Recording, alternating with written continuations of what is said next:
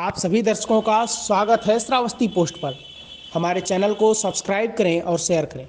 आइए बढ़ते हैं खबरों की ओर। श्रावस्ती के एटवरिया गाँव से बड़ी खबर सामने आ रही है।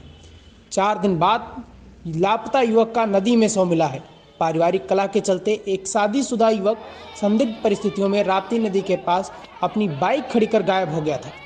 जिसके बाद युवक का आज राप्ती नदी में सौ मिला है। आपको बताते चले कि घर पर पत्नी से विवाद हुआ था, जिसके बाद गुस्से में आकर युवक अपने घर से बाइक पर सवार हो घर से निकल गया था।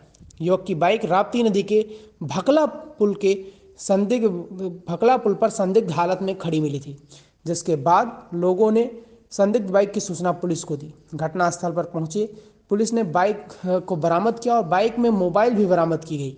काफ़ी छानबीन के बाद पुलिस ने लापता युवक के परिजनों को सूचना देकर संदिग्ध हालत में पुलिस ने पुल पर से बाइक बरामद की, जिसके बाद युवक की तलाश राप्ती नदी में चार दिनों से की जा रही थी।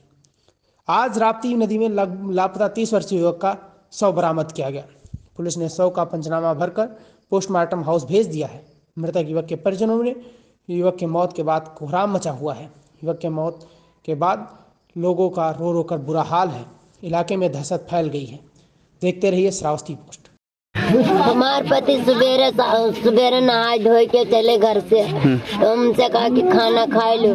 कहीं खाना ना खाए तू खाना खा लो। हम एक आधा घंटा में आए थे तब खाना कहीं पे वो तो मैं पैरू उड़ के चले गए घर से।